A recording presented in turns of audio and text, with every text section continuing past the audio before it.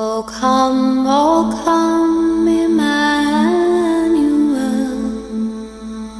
and ransom captive Israel that mourns in lonely exile here until the Son of God appear.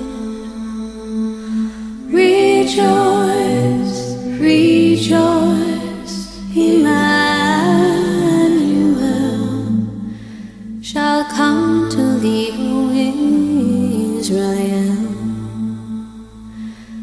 Come, O Key of David, come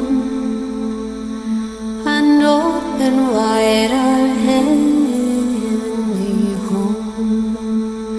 Make safe the way that leads on high, and close the path to misery.